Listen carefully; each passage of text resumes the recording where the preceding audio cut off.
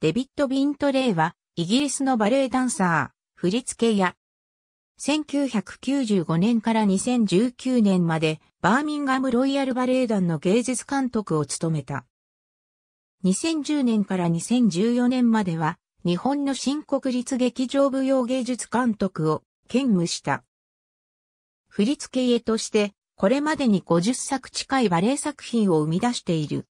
作曲家に新規に作曲を移植して作った作品は10を超え、これは21世紀に活躍するバレエ振付家の中では際立って多い。英国ウェストヨークシャー州の町、ハダーズフィールド生まれ。両親は製図を本業とするジャズの演奏家であり、子供の時からジャズの生演奏を聞いて育った。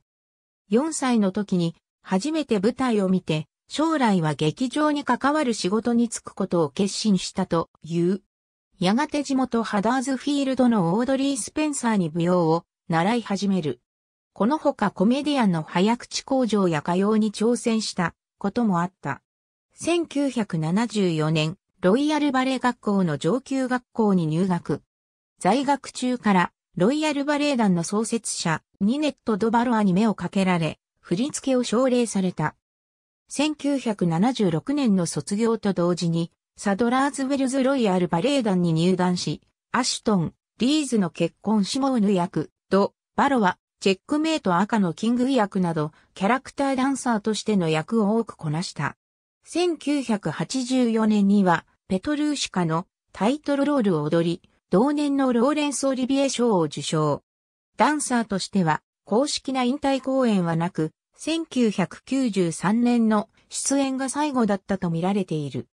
振り付けは1978年、20歳で作った違法人を処女作として以降毎年1から2作をサドラーズウェルズロイヤルで発表していった。1983年から85年は同バレエ団の常任振付や1986年から93年までは、ロイヤルバレエ団の常任振付家を務めた。1988年にロイヤルオペラハウスで初演されたペンギンカフェは代表作の一つとなる。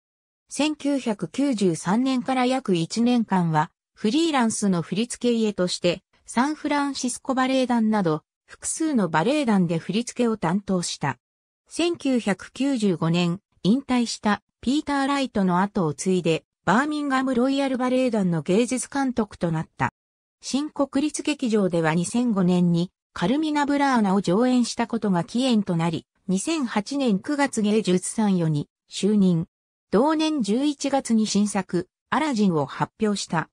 参与としての2年間の準備期間を経て、2010年9月、牧浅美の公認として、同バレエ団の芸術監督に就任した。2014年9月に任期を終え、大原英子にその座を引き継いだ。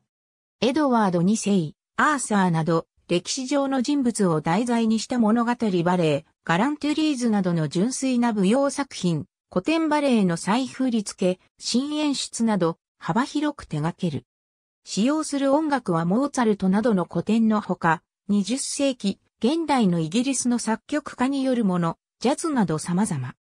作品の雰囲気は毎回異なり、意識的に変えているのではないかとの観測もあった、自身が尊敬する振付家として、アシュトン、バランシン、フォーキン、クランコの名前を挙げている。特にバランシンは作曲家に移植して音楽そのものを作り出した点を評価すると話しており、1993年に渡米してサンフランシスコバレエ団に赴いたのも純粋にバランシンが好きだったからだという。一方、ドバロアとアシュトンの二人については、自分の祖父母のような存在。温かく、抑圧的なところがなく、二人を深く尊敬していたと話す。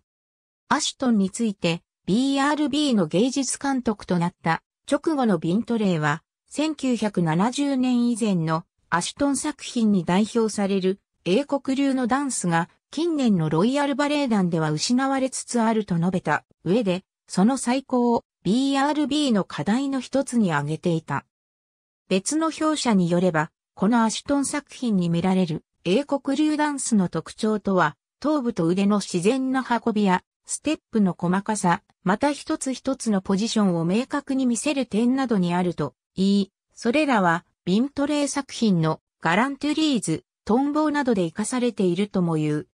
こうした点を踏まえてか、ビントレイの振り付けそのものは新しさをてらうものではなく、どちらかといえば伝統的な手法に基づくと考える評者もあった。後ろ盾であったドバロアには英国流バレエの実現をしばしば説かれたという。ドバロアの理想とするバレエとは、すなわちダンス、マイム、音楽、装置という異なる芸術の組み合わせであり、それらを総合して観客に感動を与えるものでなくてはならないという。少数のスターダンサーだけが活躍することには否定的で、バレエ団は振付屋自身が主導する必要があると話す。またバレエ団は上演する作品によってアイデンティティを確立しなければならないとも言う。バーミンガムではある年にくるみ割り人形を上演演目から外して代わりに自身のエドワード2世を入れ講義の投書を受けたことがあるという。ビントレイの振り付けの速度について1993年に新演出シルビアの初演を踊った吉田とは彼の振り付けるスピードはとても早くて、元に戻っておさらいをしてくれないので苦労したと話していた。新国立劇場の芸術監督となって2年目の2011年秋には、新たに振り付け、演出したパゴダの王子を上演した。緑色は作曲そのものを移植したことを表す。黄色は既存の音楽の作曲者自身による編曲。白は既存の曲を使用したもの。バレエ団略称は SWRB イコールサドラーズウェルズロイヤル、バレエ団、RB イコール、ロイヤルバレエ団、BRB イコール、バーミンガムロイヤルバレエ団。両親ともピアノを教えていたという情報もある。1950年代以降、バレエの他タップダンス、モダンダンスなど舞踊を幅広く教えている人物。別のインタビュー記事によれば、これは自身の姉が通っていた教室のようである。